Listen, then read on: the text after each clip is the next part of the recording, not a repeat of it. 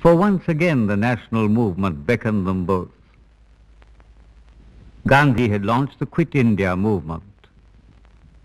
Every national leader of any consequence was arrested.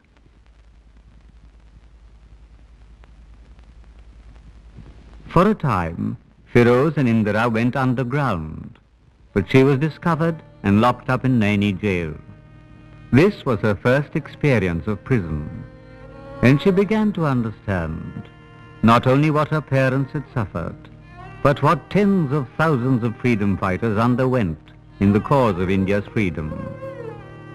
Each raindrop was a moment of loneliness, and each was a moment closer to freedom.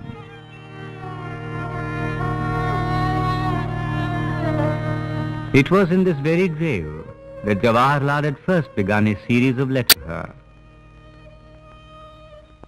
Unfortunately, he was imprisoned in the Ahmednagar fort, a thousand miles away. It was here that he wrote The Discovery of India.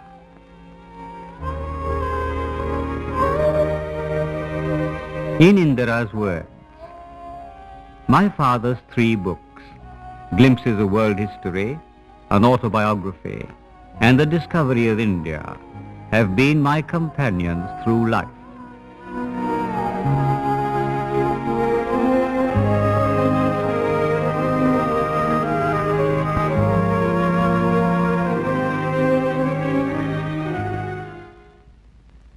After the Second World War had ended, Lord Mountbatten, who came as Viceroy, was in a hurry. He set a deadline for the resolution of different points of view and the transfer of power. Much to the sorrow of all nationalists, Mr. Jinnah and the Muslim League were adamant in their demand for Pakistan, and the partition of India became inevitable.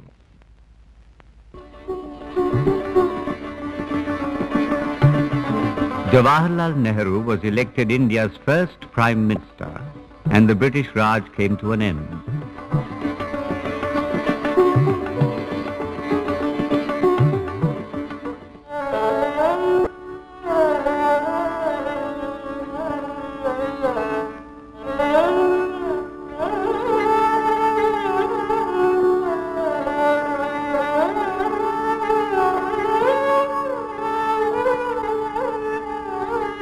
It is a cruel irony of history that the leader who refused to compromise on the unity of India should have lived to see the horrors of partition.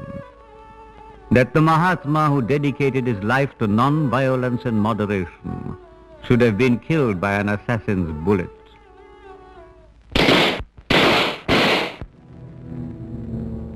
On that day, hope was eclipsed for all of India especially so for those who were personally close to Bapu. Jawaharlal was stunned, and deeply as they grieved within themselves, Firoz and Indira gave him comfort and strength.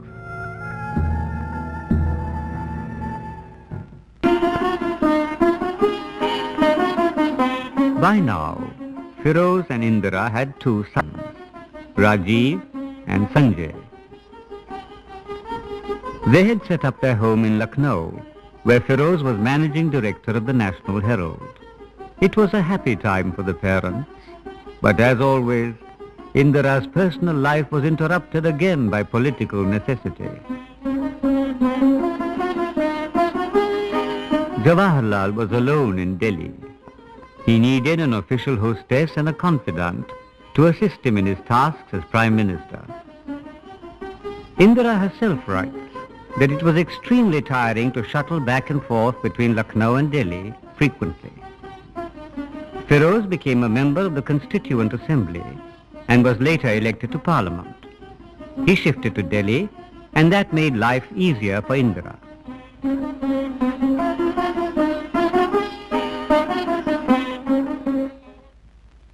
Indira travelled with Jawaharlal to various parts of India looking into the problems of rural and tribal people. They visited India's neighbors and many countries of the world. These experiences were a further step in Indira's apprenticeship in understanding national and international problems not only in terms of policy, but in terms of personal contact and exchange of ideas.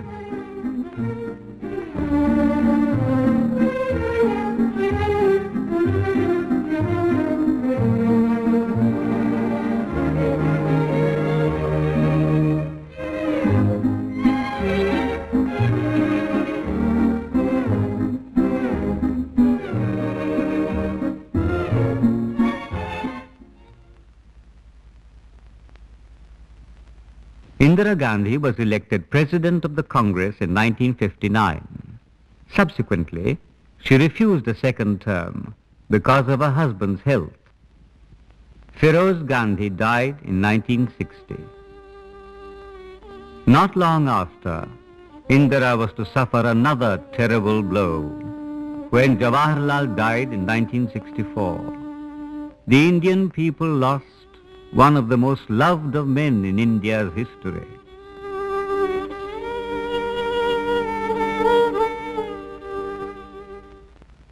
Mr. Lal Bahadur Shastri became India's second Prime Minister. Mr. Shastri asked Mrs. Gandhi to join his cabinet, Minister for Information and Broadcasting.